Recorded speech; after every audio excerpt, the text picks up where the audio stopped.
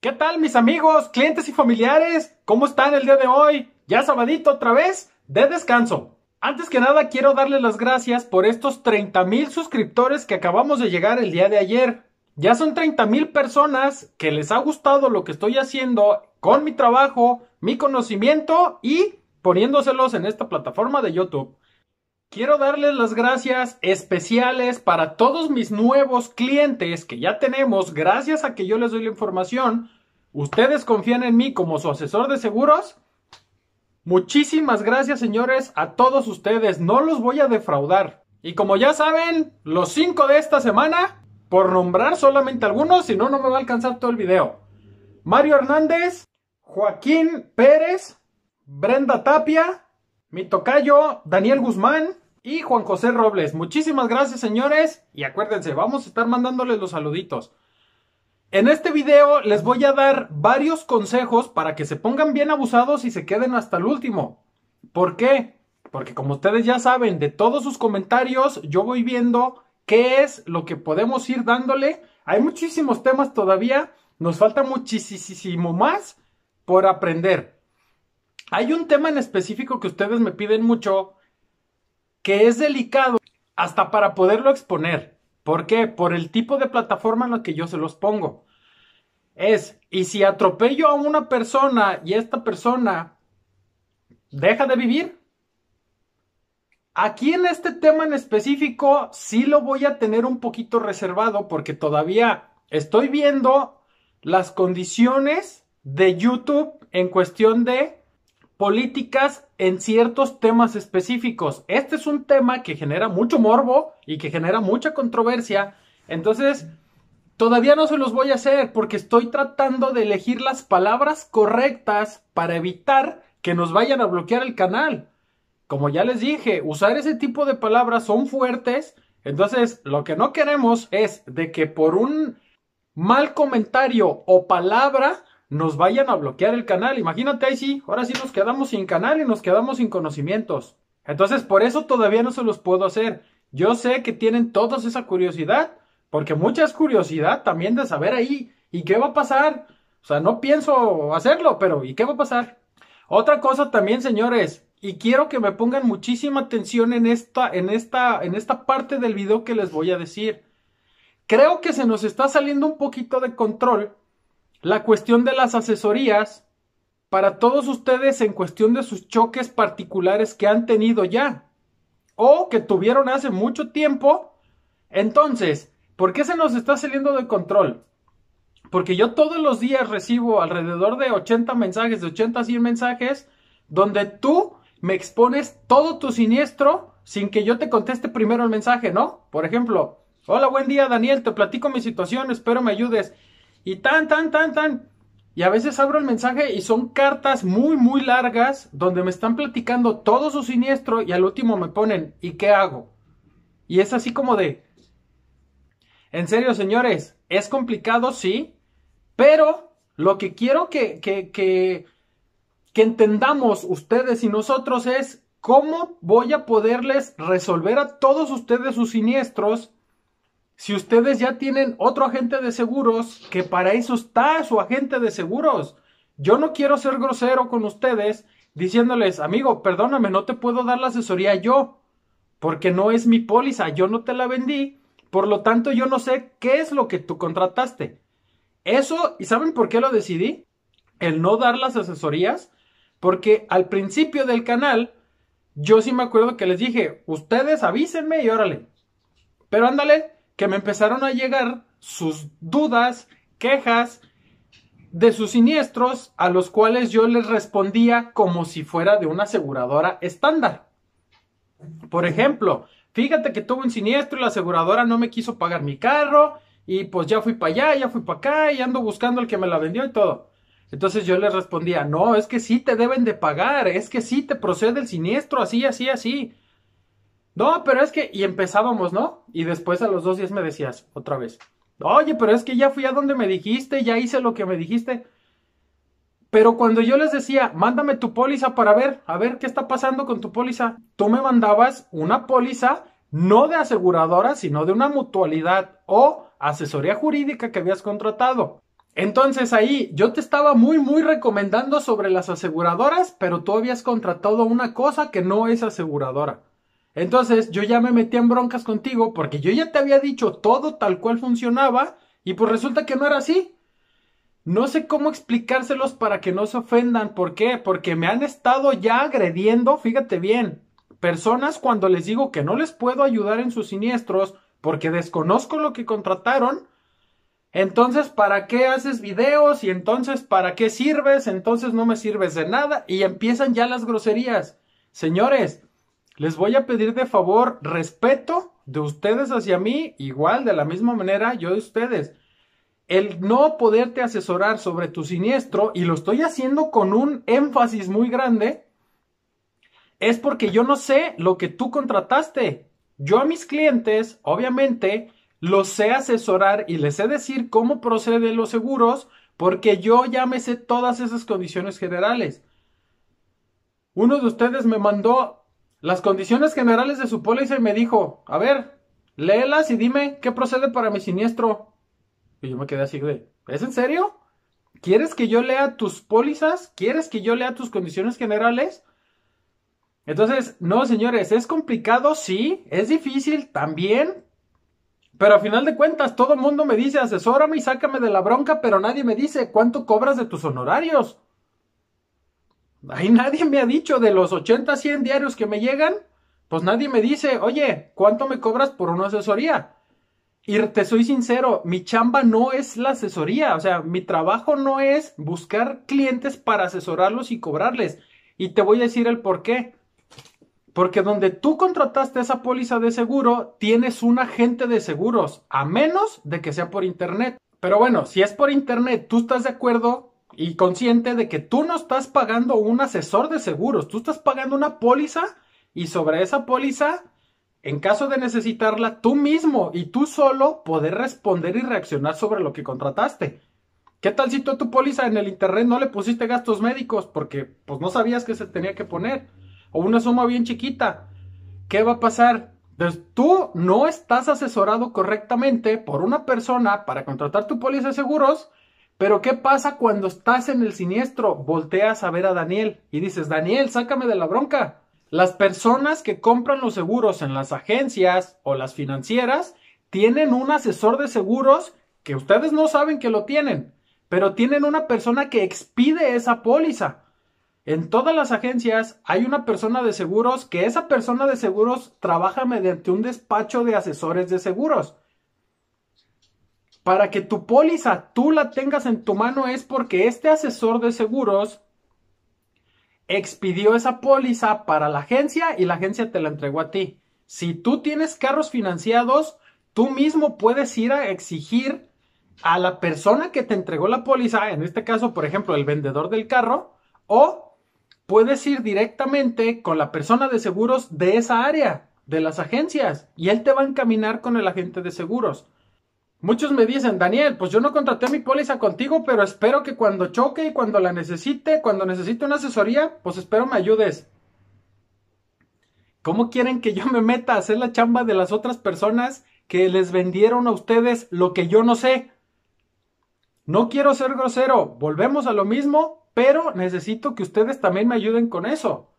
¿Qué pasa con los que son mis clientes? Pues obviamente no les voy a cobrar asesorías y obviamente las 24 horas del día voy a estar pendiente de ellos. ¿Por qué? Porque es lo que yo les estoy ofreciendo, porque es el plus que yo les estoy dando a ustedes como clientes. Pero ahora que he estado cotizando muchas pólizas y les pregunto después, oye, pues ¿qué hacemos con tu cotización? No, muchas gracias, ya lo contraté en otro lado. Ah, ok, está muy bien. Pero ¿qué pasa? Tienen broncas en ese otro lado porque lo contrataron, no sé con quién, y después vienen otra vez con Daniel y le, dicen a Daniel, oye Daniel, pues fíjate que, ¿te acuerdas aquella vez que me cotizaste? Pues ayúdame. A ver, ¿qué hacemos ahí? ¿Qué vamos a hacer? Es difícil, pero necesito que entiendan que ustedes si contratan pólizas fuera de un agente de seguros, hay que estar conscientes que ustedes no están contratando un asesor de seguros. Sí, se va a escuchar muy feo, muy cortante de, ah, no, pues entonces, ¿para qué hacen los videos? Pues yo les he enseñado muchísimas cosas que nadie más les ha enseñado. Y discúlpenme, no es la intención decirles no.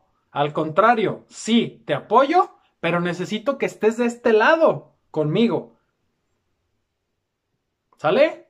Señores, pues ya les, se tenía que decir y se dijo, espero no causarles un conflicto a ustedes, espero no tener algún problema con ustedes, pero ya saben, estoy para servirles, sí, pero ya saben sobre qué medio. Aquí les dejo mi WhatsApp por si necesitan cotizaciones de seguros y si necesitan contratar su póliza mediante un agente de seguros y si soy yo, excelente, bienvenidos a nuestra comunidad. Vamos a empezar con los temas. Muchos me preguntan, oye Daniel, ¿y si no tengo licencia? Esa ya es clásica, esa ya se las he contado yo a ustedes.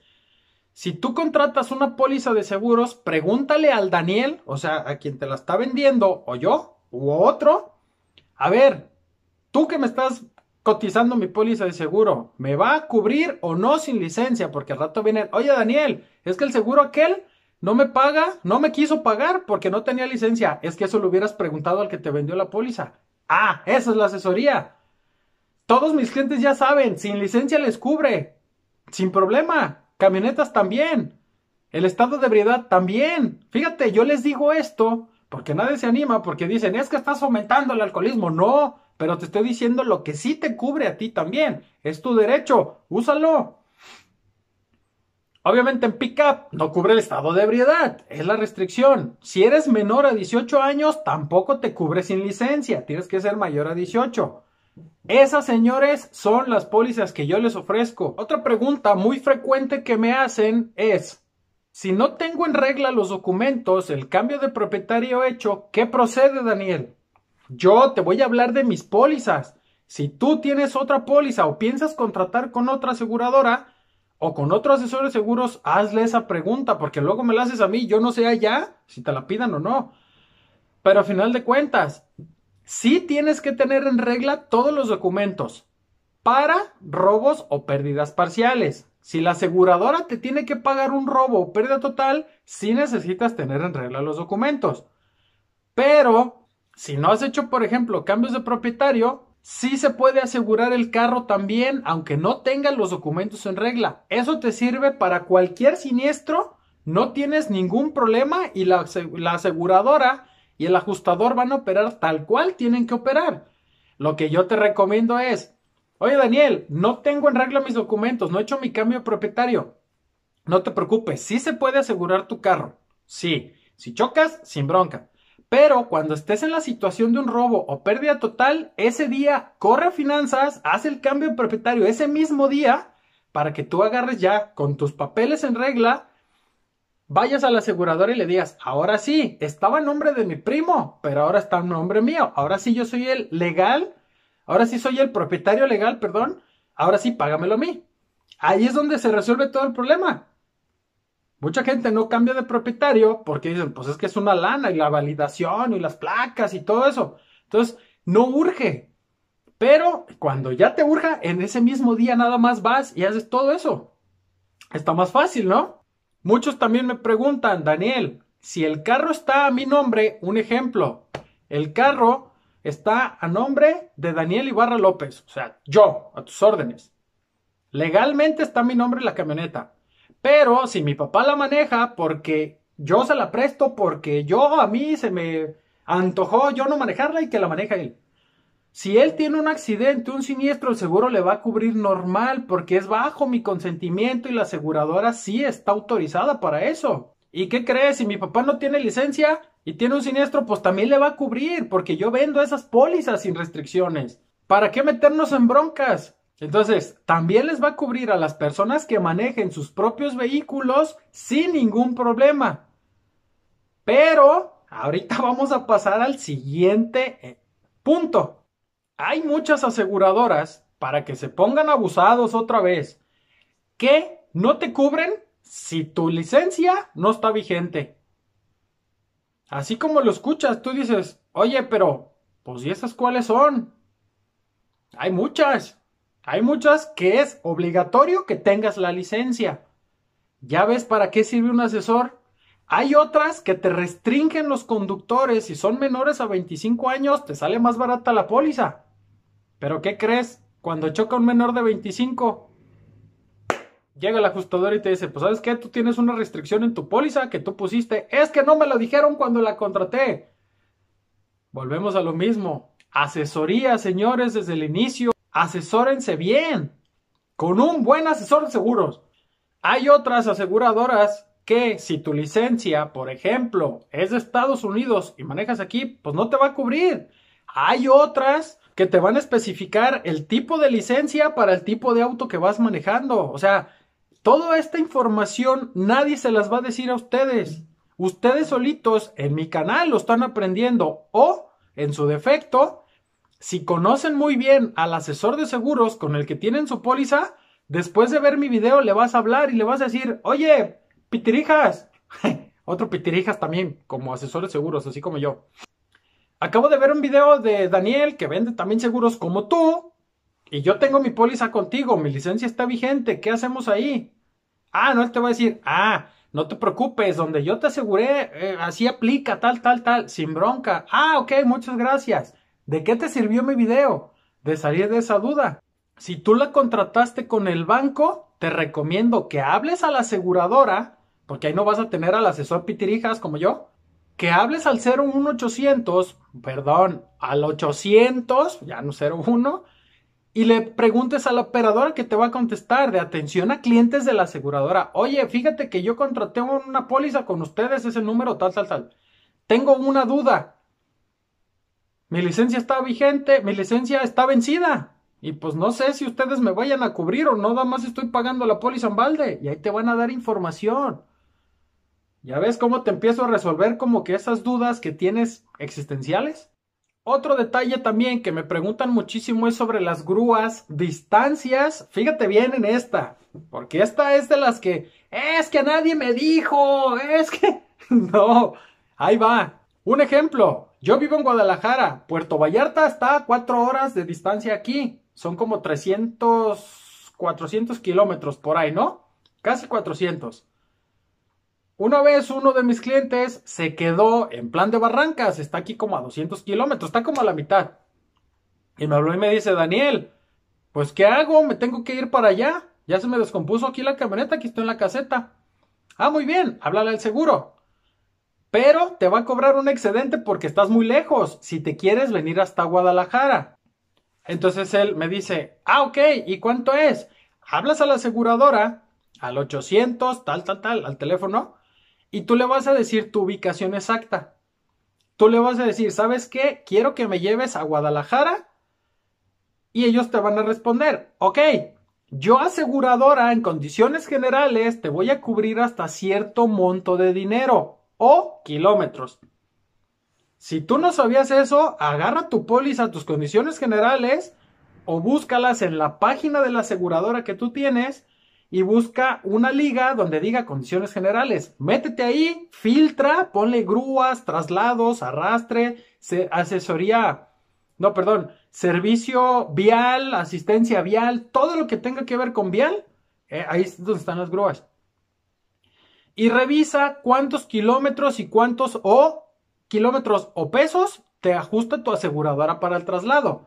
Si de plan de Barrancas a Guadalajara cobran 5 mil pesos una grúa por normalmente de aquí a acá, entonces la aseguradora te va a decir, yo te voy a poner X cantidad de pesos o kilómetros. Fuera de ahí, tú el excedente lo pagas. Porque la obligación y responsabilidad de una aseguradora en cuestión de traslados es llevarte al próximo poblado sin costo alguno para ti. Por ejemplo, plan de Barrancas para los que conocen acá, plan de Barrancas hacia Guadalajara tienes que pasar, por ejemplo, por Tequila. Tequila, Jalisco. Ah, chulada.